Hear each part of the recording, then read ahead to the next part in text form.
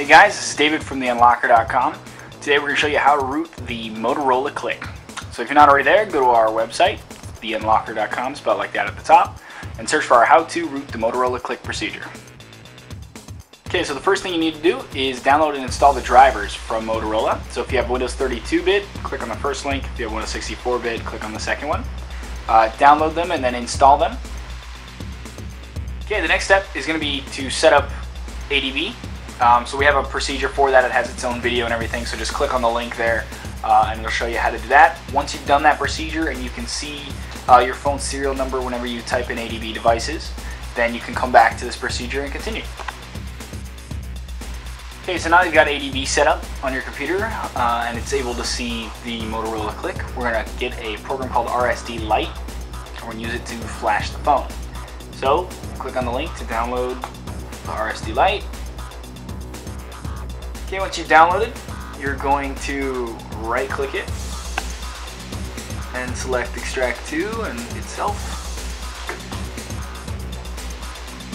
And then scroll to where it is. And you'll see it's right here.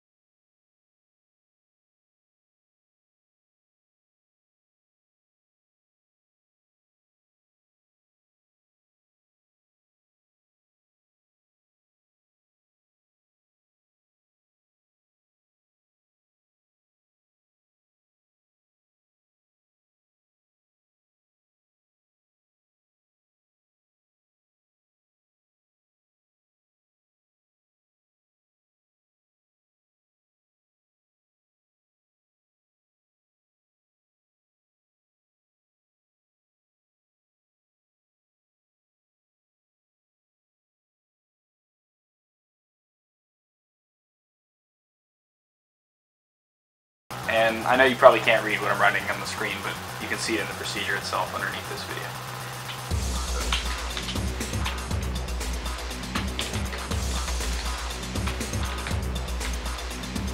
Tools, okay. And then ADB devices, just to make sure that our phone is listed. We have a serial number, so it's listed. And then we're going to type ADB remount, enter remount succeeded. ADB shell chmod 4755 slash system slash bin slash SU. Enter. Okay, and then we're all done with that step. Okay, so once that's all done, we're going to do the last step, uh, which is fix super user so we can get root access in applications. So you're going to go to our site and download the superuser.zip. Save it to your computer.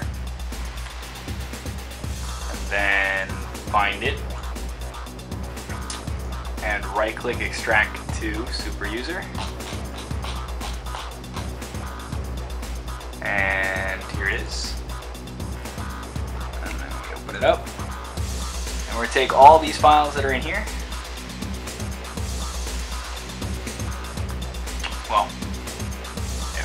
Take all these files that are in here, copy them, go to our C drive, to our SDK, tools, and paste them in here.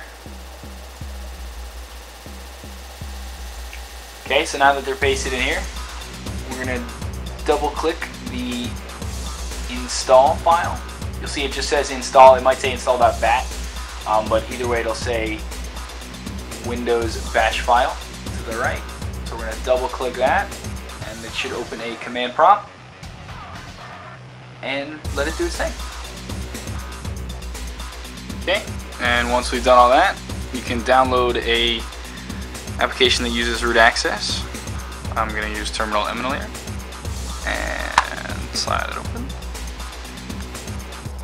And change the font size so you can see what the hell I'm doing. Okay, and then you should be able to just type SU and hit enter. And there you go. Um, it should actually, the first time you do this, pop up a warning for super user uh, saying do you want to always allow it, yes, no, etc. Just click always and then one of it pop up again and you'll get this. And that means you have root access. So enjoy.